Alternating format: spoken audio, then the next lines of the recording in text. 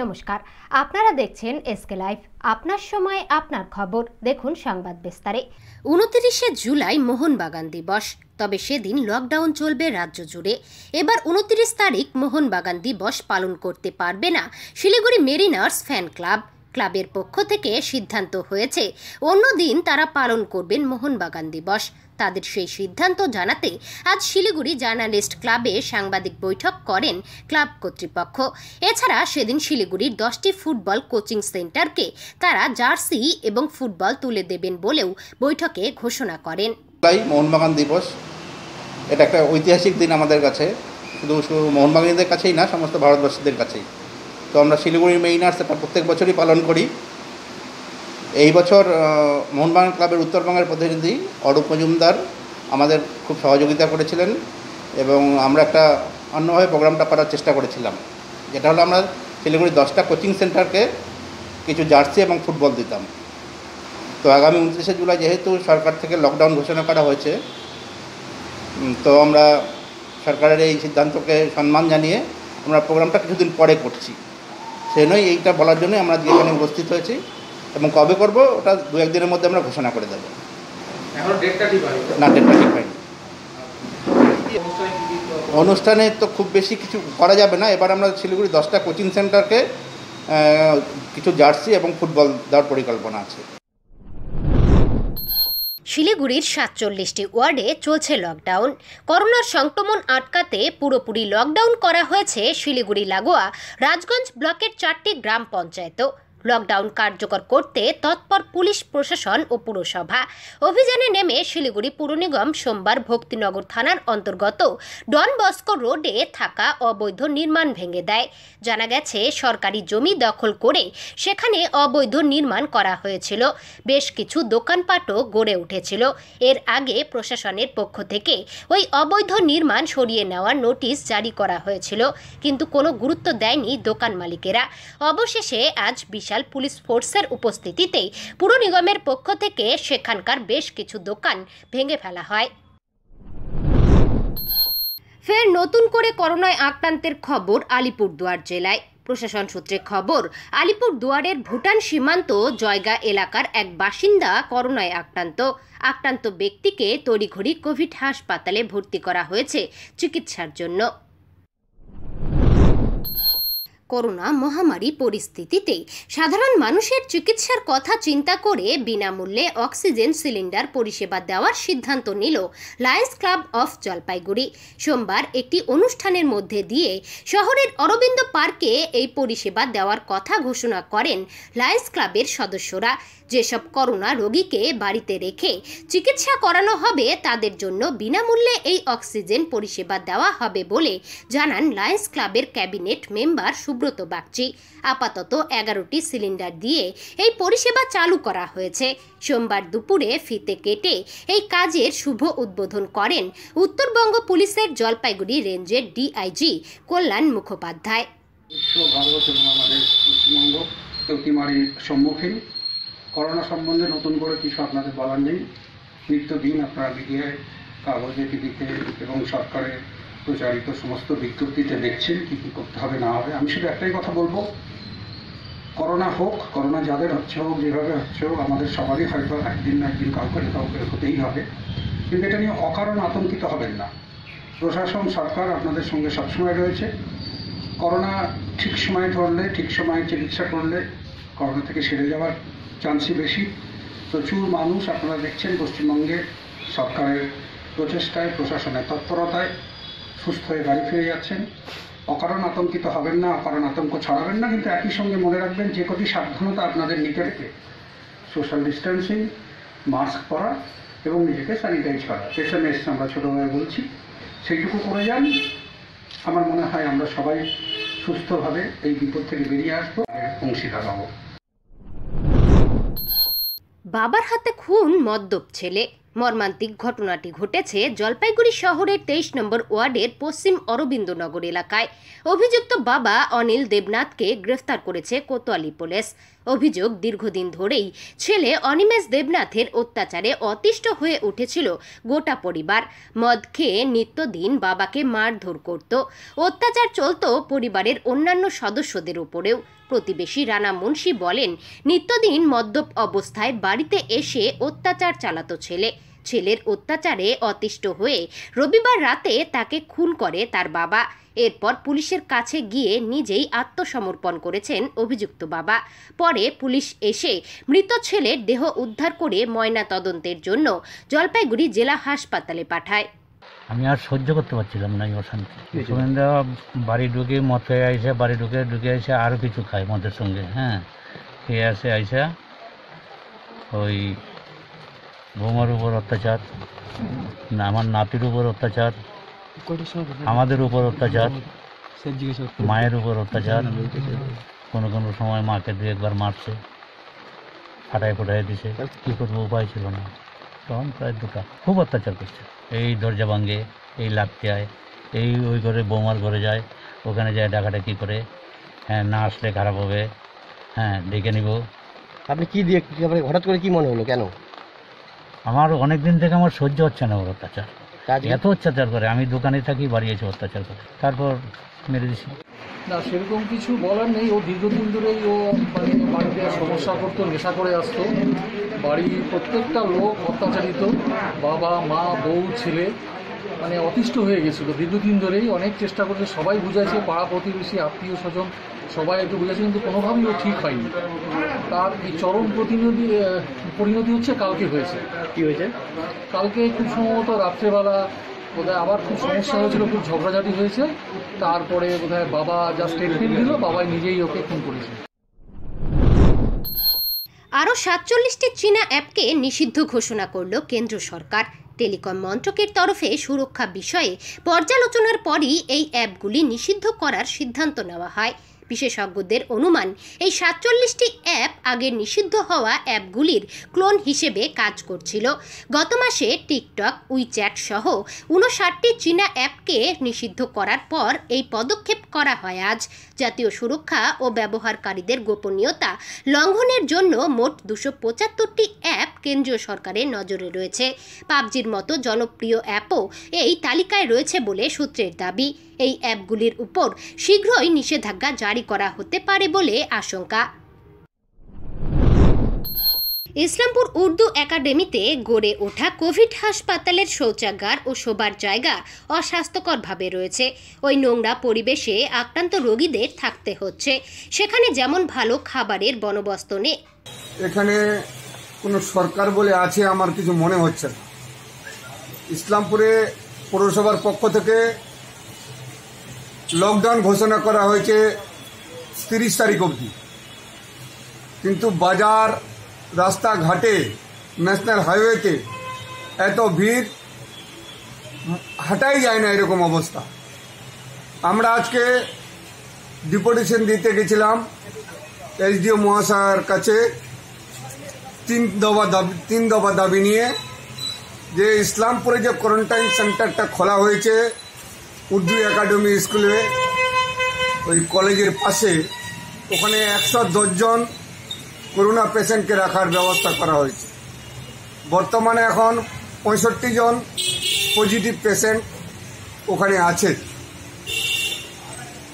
আমরা বিশ্বস্ত সূত্রে জানতে পারলাম, ওখানকার টয়লেট, শোয়ার ঘর অত্যন্ত নোংরা এবং ওখানে যেসব রোগী আছে তারা কান্নাকাটি করছে। কেন? যে ভালো খাবার নেই ভালো মতো স্যানিটাইজেশন হয় না। ওই জন্য আজকে আমরা আইডিও মহাশয়াকে ডিপুটেশন দিলাম। কয় দফা দাবি নিয়ে? এটা তিন দফা দাবি। রেডিও ওনার সঙ্গে এখন দেখা হলো না উনি দুদিন ধরে অফিসে নেই গতকালও গেছিলাম। আমরা অফিসে গিয়ে বলে আসলাম এটা অতি সত্তর যেন এসডিও মহাশয়ের হাতে যায় এটা যেন অ্যাকশন করা হয় যাতে ওখানে দিনে দুইবার কমসে কম স্যানিটাইজেশন করা হয়। রুগীদের যাতে ভালো খাবার দেওয়া হয়, ওখানে যাতে ভালো ওষুধ দেওয়া হয়, পায়খানা এবং শোয়ার রুমগুলো যেন ভালো করে পরিষ্কার করা হয়, যাতে রুগীদের কোনো অসুবিধা না হয়। ঝড় বৃষ্টিতে পুড়ে গিয়েছে ট্রান্সফরমার। বিদ্যুতের অভাবে দুদিন ধরে বন্ধ পানীয় জল পরিষেবা। জানিয়ে এখন চরম দুর্ভোগে পড়েছে পুরাতন মালদা পুরসভার কুড়িটি ওয়ার্ডের অধিকাংশ বাসিন্দা। স্থানীয়দের বক্তব্য, সংশ্লিষ্ট পুরসভার কুড়িটি ওয়ার্ডে বিদ্যুৎ সরবরাহের জন্য দু নম্বর ওয়ার্ডের লোলাবাগ এলাকায় রয়েছে পাওয়ার গ্রিডটি। ওই এলাকা থেকেই আধুনিক ও উন্নত মানের ট্রান্সফরমারের মাধ্যমে বিদ্যুৎ সরবরাহ হয় গোটা পুরসভা এলাকায়। গত শনিবার রাত থেকে ঝড় বৃষ্টির কারণে হঠাৎ করে এলাকার পাওয়ার গ্রিডে বিকল হয়ে পড়েছে ট্রান্সফরমারটি, যার কারণে বিদ্যুতের সমস্যা দেখা দিয়েছে বিভিন্ন ওয়ার্ডে। পাম্পের মাধ্যমে পাড়ায় পাড়ায় পানীয় জল সরবরাহ করে থাকে পুরসভা কর্তৃপক্ষ। কিন্তু লোডশেডিং হয়ে থাকার কারণে সেই পাম্প, মেশিনগুলোও বন্ধ। ট্যাপ লাইনের মাধ্যমে পানীয় জল পরিষেবা থেকেও বঞ্চিত রয়েছেন ওয়ার্ডের হাজারো বাসিন্দা। এ নিয়েই চরম দুর্ভোগের মধ্যে পড়েছেন সাধারণ নাগরিকরা। যদিও সোমবার রাতের মধ্যেই পুরসভার প্রতিটি ওয়ার্ডে এই পানীয় জল পরিষেবা স্বাভাবিক হয়ে যাবে, আশ্বাস দিয়েছেন প্রশাসক কার্তিক ঘোষ। তিনি বলেন, শিলিগুড়ি থেকে উন্নত মানের ট্রান্সফরমার নিয়ে আসা হচ্ছে। রাতের মধ্যে পরিস্থিতি স্বাভাবিক হয়ে যাবে। আচ্ছা। কেন? কি হয়েছে? জল কেন আসছে না? আচ্ছা।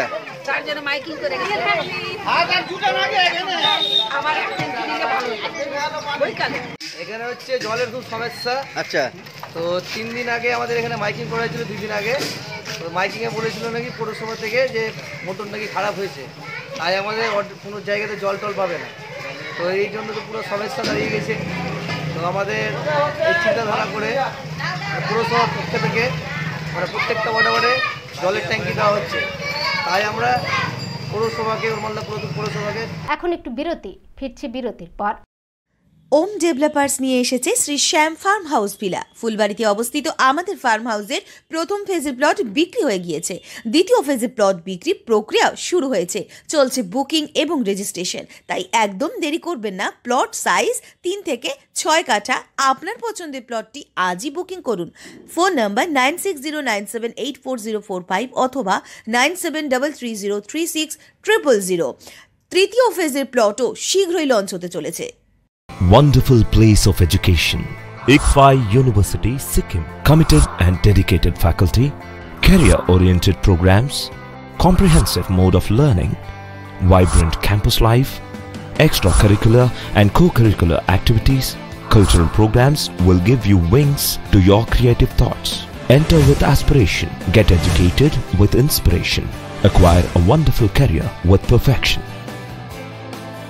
ICFI University, Sikkim. आज जहाँ कोरोना से सभी परेशान हम लाए हैं, कमाने का तरीका आसान। 21वीं सदी में महिलाएँ आत्मनिर्भर होकर स्वाभिमान के साथ जीना चाहती है। अगर आप एक गृहिणी हैं और घर से ही मुनाफे वाला व्यवसाय करने का सोच रहे हैं तो आपके लिए सुनहरा मौका लाए हैं टपरवेयर के सिलीगुड़ी स्थित पूरे नॉर्थ बंगाल के डिस्ट्रीब्यूटर नारायणी पार्टी सेल्स तो सोचिए नहीं, स्क्रीन में दिए गए नंबर में संपर्क कीजिए और विस्तृत जानकारी लीजिए। घर बैठे पैसे कमाए, आज ही फ्री मेंबरशिप लीजिए। अपने सपनों को पूरा कीजिए, मुश्किल की इस घड़ी में आपका साथ ही सिर्फ़ टपरवेयर आपके विजुअल एडवर्टीजमेंट के लिए एसके लाइव ही बेस्ट ऑप्शन है। एसके लाइव का इस क्षेत्र में 24 घंटा टेलीविज़न एंड्रॉइड ऐप और वेबसाइट पर प्रसारण होता है। सोशल मीडिया पर भी हम उपलब्ध हैं। हमारी व्यूवरशिप 9 लाख से अधिक है। सिक्किम हैथवे और एनएक्सटी डिजिटल पर दार्जिलिंग और कालिम्पोंग में दोनों हैथवे और सीसीएन सेटअप बॉक्स पर इस्लामपुर से लेके मैनागुड़ी हैथवे पर सिटी केबल पर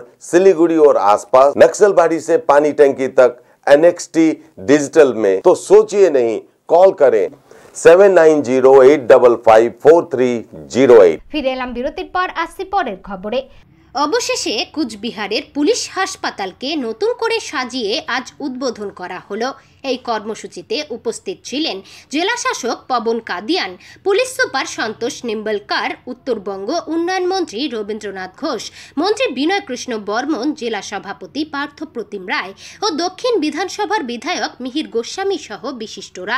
পুলিশ সূত্রে জানা গিয়েছে, এদিন ওই হাসপাতালে একটি ওয়েলনেস ক্লিনিক সহ চালু করা হয় অনুশীলন কেন্দ্র। মানসিক শক্তি বৃদ্ধির জন্য সপ্তাহে একদিন করে পুলিশ কর্মীদের নিয়ে শিবির করা হবে সেখানে। সেজন্য এক মেডিকেল অফিসার নিযুক্ত রয়েছেন ওই হাসপাতালে। গত সপ্তাহের বৃহস্পতি ও শনিবারের মতন আগামী বুধবার সাপ্তাহিক সম্পূর্ণ লকডাউন পালন করার আবেদন নিয়ে এবং সাধারণ মানুষকে ঘর থেকে বের না হয়ে সংক্রমণ প্রতিরোধ করতে ঢাক বাজিয়ে পাড়ায় পাড়ায় অলিতে গলিতে প্রচার শুরু করল কালিয়াগঞ্জ পুর প্রশাসন। প্রবল বৃষ্টিকে উপেক্ষা করে সোমবার কালিয়াগঞ্জ পুরসভার উদ্যোগে ঢাকি শিল্পী রবীন্দ্রনাথ বৈশ্যকে দিয়ে শহরের প্রতিটি ওয়ার্ডে ঢাক বাজিয়ে লকডাউন মেনে চলার আবেদন করানো হয়। ঢাক বাজিয়ে মানুষের দৃষ্টি আকর্ষণ করার পাশাপাশি করোনা সংক্রমণ প্রতিরোধে সচেতনতা ও লকডাউন মেনে চলার বার্তা পাঠ করে শোনান ঢাকি শিল্পী রবীন্দ্রনাথ বৈশ্য। কালিয়াগঞ্জ পৌরসভা বেশ কিছুদিন আগে থেকেই আমাদের এটা ঢাকি নিয়োগ করার পর থেকেই আমরা যে কোনো সচেতনমূলক প্রচার আমরা ঢাক বাজিয়ে করি। যেটা সাবেকি যুগে যখন একটা ঢাকের একটা প্রচলন ছিল, সেই প্রথাটাকে আবার আমরা চালু করেছি এবং এখন নোবেল করোনা ভাইরাসের যে প্রচার চলছে আমাদের, ডেঙ্গু নিয়ে যে প্রচার চলছে, ফিফটি মাইক্রন ক্যারিব্যাগ নিয়ে যে প্রচার চলছে, আমরা ঢাকের মাধ্যমে করছি। কারণ ঢাকি এমনভাবে প্রতিটা পাড়ায় প্রতিটা মহল্লায় গিয়ে প্রচারটা করতে পারে, যেটা হয়তো আমাদের মাইকের পক্ষে, কোনো গাড়ির পক্ষে সম্ভব হয়ে ওঠে না। তাছাড়াও একটা সাবেকিয়ানা এর মধ্যে যেমন তোলা রয়েছে, ঠিক তেমনি করোনা ভাইরাসকে কেন্দ্র করে আমাদের কালিয়াগঞ্জ পৌরশহরে যে লকডাউন চলছে, গত সোমবার থেকে শুরু হয়েছে, আগামী রবিবার অবধি চলবে। এর মাঝে গতকাল বৃহস্পতিবার পশ্চিমবঙ্গ সরকারের নির্দেশে চব্বিশ ঘণ্টা লকডাউন ছিল। ঠিক আগামীকাল শনিবার সেটাও চব্বিশ ঘণ্টা লকডাউন থাকবে। সেটাও আমরা এই ঢাকির মাধ্যমে প্রচারটা করছি, যাতে প্রতিটা ওয়ার্ডের প্রতিটা পাড়ায় গলিতে জানতে পারে। ঠিক তেমনি তার সাথে একদিকে যেমন করোনায় মানুষকে করোনার জন্য সচেতন করা হচ্ছে, ঠিক তেমনি তার সাথে এখন ডেঙ্গুর সার্ভে চলছে, সেটা নিয়েও সচেতন করা হচ্ছে এবং তার সাথে ফিফটি মাইক্রন ক্যারিব্যাগ মানুষ যাতে ফিফটি মাইক্রন এর নিচে ক্যারিব্যাগ ব্যবহার না করে, সেই সচেতনও করা হচ্ছে। করোনা রোগীদের দ্রুত চিকিৎসা কেন্দ্রে পৌঁছে দেওয়ার জন্য আরও একটি অ্যাম্বুলেন্স চালু করল ইংরেজবাজার পুরসভা কর্তৃপক্ষ। সোমবার দুপুরে ইংরেজবাজার পুরসভার প্রশাসক মণ্ডলীর চেয়ারপারসন নিহার ঘোষ এবং অন্যতম সদস্য বাবলা সরকারের উপস্থিতিতে এই অ্যাম্বুলেন্সের শুভ সূচনা করা হয়। সবুজ পতাকা উড়িয়ে পুরসভার প্রশাসক কর্তৃপক্ষ অ্যাম্বুলেন্সটি চালু করেন এদিন। ইংরেজবাজার পুরসভার প্রশাসক মণ্ডলীর সদস্য বাবলা সরকার জানান, গত মাসেই করোনা রোগীদের নিকটবর্তী চিকিৎসা কেন্দ্রে পৌঁছে দেওয়ার জন্য পুরসভা থেকে একটি অ্যাম্বুলেন্স চালু করা হয়েছিল। এরপর আবারও এদিন পুরসভা থেকে আরও একটি নতুন অ্যাম্বুলেন্স চালু করা হলো। এই দুটি অ্যাম্বুলেন্স পুরসভার করোনা রোগীদের চিকিৎসা প্রদানের ক্ষেত্রে সাহায্য করবে। ইংরেজবাজার পৌরসভার উদ্যোগে আমাদের জেলা সমাহর্তার সাহায্যে আমরা কোভিডের বিভিন্ন রোগীদেরকে দ্রুত তাদের পরিষেবার কাজ করছি। আমাদের হেলথের কর্মচারীরাও, তারা বিভিন্ন ওয়ার্ডে গিয়ে আমাদের কনজারভেসিরা তারা বিভিন্ন ওয়ার্ডে ব্যারিকেড থেকে শুরু করে স্যানিটাইজারের মাধ্যমে কাজ আমাদের চলছে।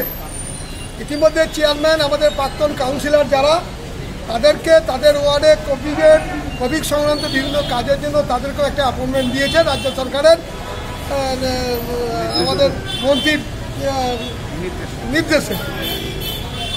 আমরা একটা অ্যাম্বুলেন্স, আমরা পৌরসভা থেকে আলাদাভাবে চালু করেছিলাম, কোভিডকে, রুগীদেরকে দ্রুত বিভিন্ন পরিষেবা দেওয়ার জন্য।